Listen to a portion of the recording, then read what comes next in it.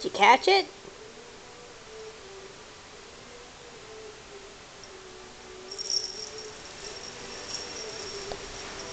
And he's dragging it off.